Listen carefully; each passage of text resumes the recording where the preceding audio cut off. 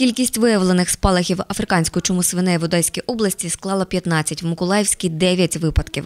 Але ресурсів, щоб ліквідувати або навіть протистояти небезпеці, не вистачає. Під час розширеної наради тимчасово виконуючи обов'язки голови Миколаївської облдержадміністрації В'ячеслав Бонь зауважив, що на сьогодні всі вжиті заходи виявилися нерезультативними.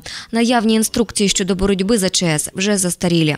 Зараз єдиним виходом є спалення інфікованих тварин, але це занадто затратно. При ликвидации последствий африканской чумы э, все, все поголовье в очаге, а этот очаг может быть как отдельное предприятие, в данном случае ферма 6,5 тысяч голов, так и населенный пункт, в котором тоже может быть несколько тысяч голов свиней. Все это на- и всех этих свиней надо умертвить, выкопать яму и там сжечь.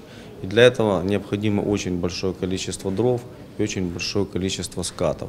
Очільник Миколаївської облдержадміністрації закликав до створення резервного фонду матеріальних ресурсів у кожному районі вже зараз до виникнення хвороби, а також звернувся до представників бізнесу по допомогу у вирішенні цього питання.